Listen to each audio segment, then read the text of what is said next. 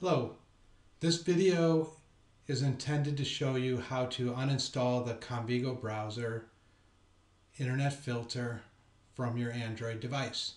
In order to uninstall, you'll need your username and your password as an administrator. First thing I'll do is double click the Comvigo browser and it will open up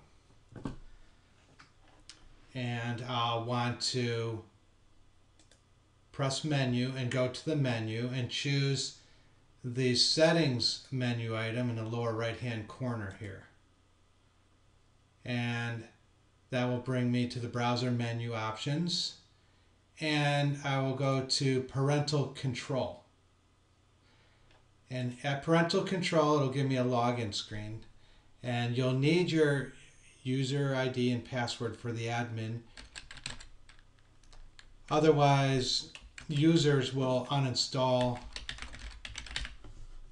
or circumvent the application uh, without permission. So I typed in the password and I'll hit OK.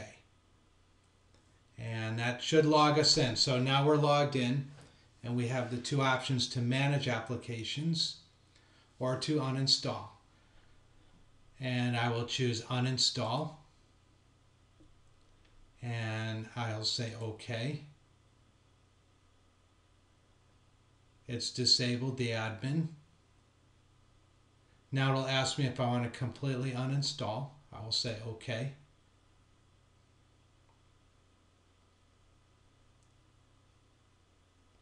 And the install is uninstall is finished. I'll hit OK. And the application has been uninstalled from this device. If you need further assistance, you could contact us at sales at comvigo.com. Thanks and have a great day.